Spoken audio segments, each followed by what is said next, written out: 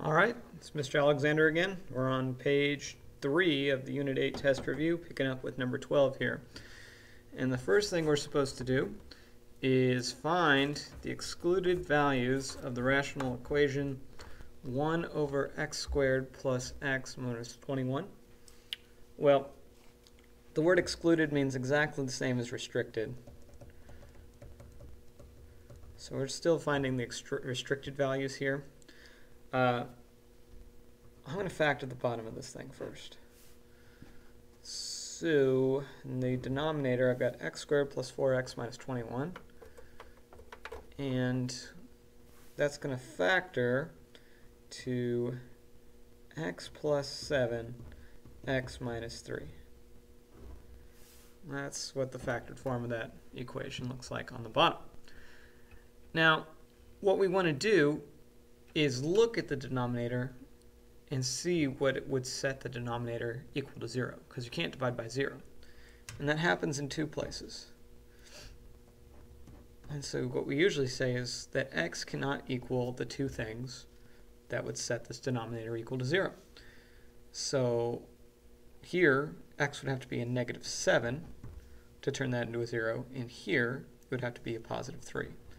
Those are the two restricted or excluded values, negative 7 and 3. On the next one, determine the values for the x for which the function is not defined. Same thing, just another way to ask for the restricted values. So the first thing we ought to do is factor it. So I'm going to have a 3 on the top in the numerator. And in the denominator, I'm going to have x minus 10, x minus 5. So I've got two restricted values here. And I usually like to write x cannot equal positive 10 or positive 5. Those are the value of x for which the function is not defined. So therefore, x cannot equal those things. Uh, find the horizontal asymptote. Well, remember there's three cases here. If it's bigger on top, then there's no horizontal asymptote. If it's bigger on bottom, then it's simply y equals 0. And if they're the same, the exponents, then uh, you just divide the coefficients.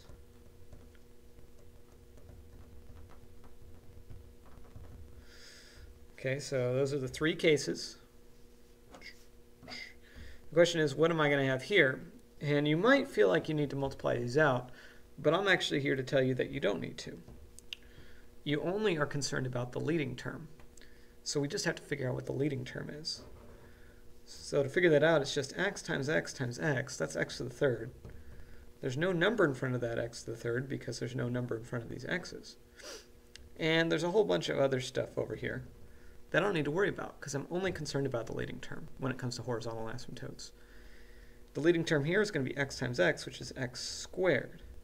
And there's some other stuff as well that I'm not worried about because I'm only looking at the leading terms. Let's see, is it bigger on top or bigger on bottom? x cubed is large is bigger exponent than x squared. Therefore, it's bigger on top, and therefore there is no horizontal asymptote. Okay? The next one, number 15, says, determine the equations of any vertical asymptotes and the values of x for any holes in the graph of the rational function. To do that, you need to factor the denominator. Still got an x minus 9 on top. And on the bottom, we're going to factor that as x plus 4 times x minus 3. And if we can cancel anything, it creates a hole. I can't cancel anything. Therefore, there aren't any holes. But there are one, two vertical asymptotes. In fact, there's a vertical asymptote at x equals negative 4 and x equals positive 3. So there were two vertical asymptotes here.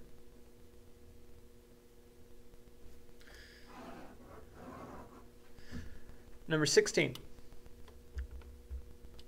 says find the domain of any of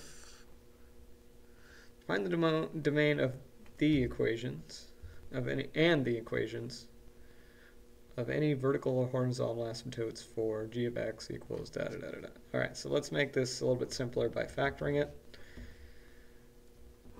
Keep it over x minus 6. And I'm going to factor that to be x minus 6, x plus 1. And hopefully you see that you can cancel out the x minus 6's leaving me with just x plus 1. But you need to remember that there's a hole here at x equals positive 6. Therefore, when I'm writing the domain, which I'm going to do right here, since there's a hole at x equals 6, in the domain, the domain is all real numbers except for positive 6. Um, there are no vertical asymptotes because there's nothing remaining in the denominator. So I'll just say no vertical asymptotes. And horizontal asymptote. This thing is bigger on top than it is on the bottom. So there's actually no horizontal asymptotes either. So, and no horizontal asymptote. That's it.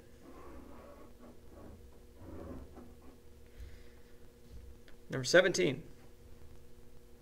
Identify the horizontal asymptote for 2x plus 2 times 7x plus 3 over x plus 3 times 2x minus 3. So remember, when we're talking about the horizontal asymptote, we're only concerned about the leading terms. So I'm just going to multiply these first two together.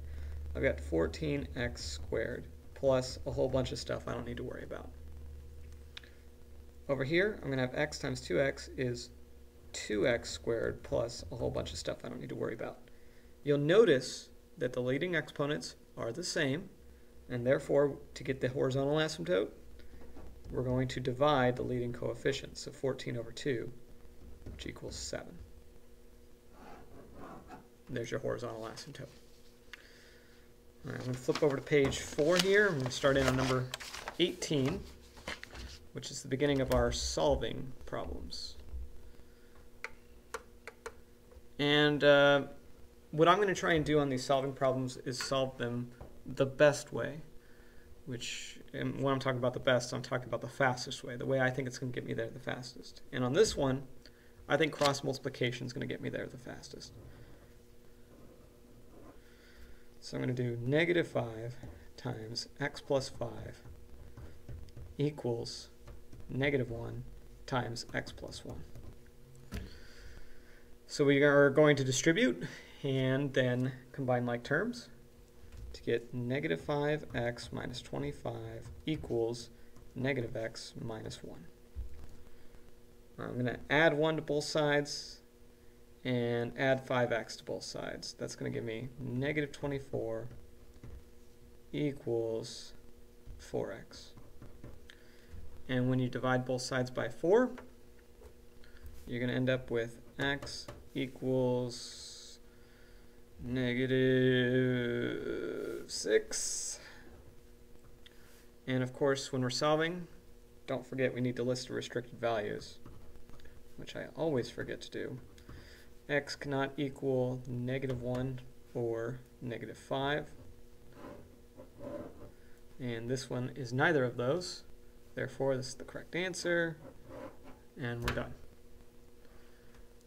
All right. Uh, number 19, very similar problem. Going to cross multiply again, but before I do, I'm going to remember to list the restricted values this time. x cannot equal positive 5 or negative 1, just looking at the denominators to make that determination. So I'm going to cross multiply these and these, and it's going to give me g minus 7 times g plus 1 equals g minus 5 times g minus 8. And I'm going to go ahead and FOIL that out so I can combine like terms, and I'm going to get g squared minus 6g minus 7 equals g squared minus 13g plus 40. And uh, I'm going to go ahead and subtract g squared from both sides. I'm going to add 13g to both sides. So g squared minus g squared, those drop out. Negative 6g plus 13g, well that's 7g equals, and I'm going to add 7 to both sides, 47. And that's not going to be a pretty answer, but the answer is g equals 47 over 7. All right. Uh, not a restricted value.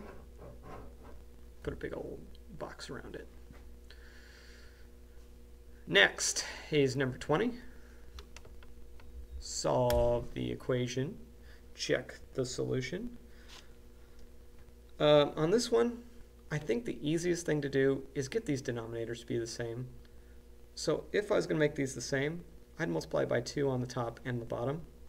And that would give me 1 over 4g plus 6 over 4g equals negative 4. The reason I'm going to do that is so I can combine like terms here, or not like terms, but put it on the same fraction to get 7 over 4g equals negative 4. And if you multiply both sides by 4g, then you've got 7 equals negative 16g. Divide by negative 16, and you're going to end up with g equals 7 over negative 16. And of course, I forgot my restricted values, because I always do. But in this case, my restricted values, there's just one. x cannot equal 0. And since it doesn't, I'll go ahead and put a box around that. Yes. 21. Solve the given equation, round answers to the nearest hundredth if necessary.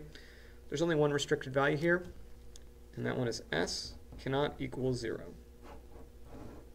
That's my restricted value.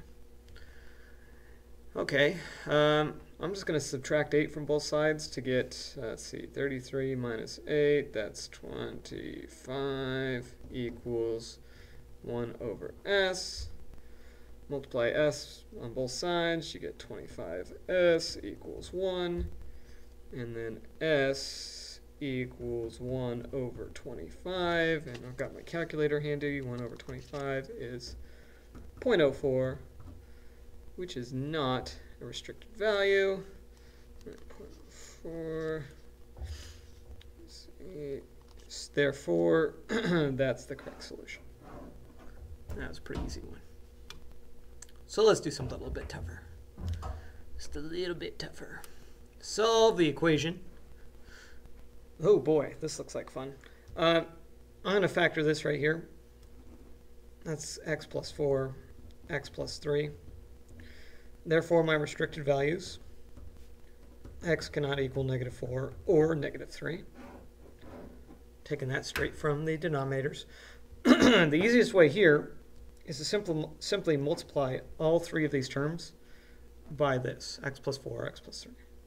So that's what I'm going to do. And hopefully you see when you do that, that these x plus 4s will cancel out, leaving me with 6 times x plus 3. And on the second one, oh, I still got the minus sign. On the second one, the x plus 3s will cancel out, leaving me with just 1 times x plus 4. And then on the last one, x plus 4 cancels with x plus 4, x plus 3 cancels with x plus 3, leaving me with negative 26. So it looked really bad to start, but it's going to finish pretty easy. Because we just need to distribute now to get 6x plus 3 minus x minus 4 equals negative 26. And when you combine like terms, you get 5x minus 1 equals negative 26. Add the 1, divide by 5. You've got x equals negative 25 divided by 5 Just write that down, which equals negative 5, which is not a restricted value. It's good to go. That is the answer. okay, last one here. Um, this one's interesting. I think the easiest thing to do here is to multiply everything but by x plus 2. And before I do that, I'm going to state my restricted value. I'm going to remember to do that. x cannot equal negative 2, so we'll keep that in mind. And then I'm going to multiply everything by x plus 2. So on this first term, the x plus 2's will cancel out, leaving me with x minus, let's see, negative 1 eighth times x plus 2.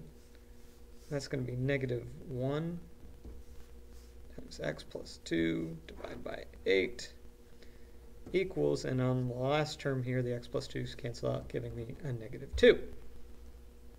Okay. Uh, I guess that didn't really clear my fraction, which isn't awesome, I guess. But uh, I can clear the fraction now by multiplying everything by 8. Probably what I should have done in the first place. 8x minus 1x plus 2 equals negative 16. 8x minus x is 7x. Distri distribute the negative sign, get a negative 2 equals negative 16. Add the 2, divide by 7. x equals negative 14 over 7, which equals negative 2, which, oh wait, look, the restricted value is x equals negative 2, which is why we always list that. And since that happens, that is not an answer. Therefore, there is new solution to that one. All right, that was very exciting. Uh, thanks for watching video two here. We got through number 23. We'll pick up with page four, or sorry, page five, which is number 24, on video number three.